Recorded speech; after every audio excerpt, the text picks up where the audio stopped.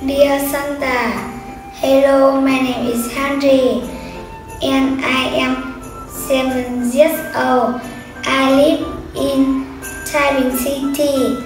I have been really good this year and have been thinking of what I would like for Christmas.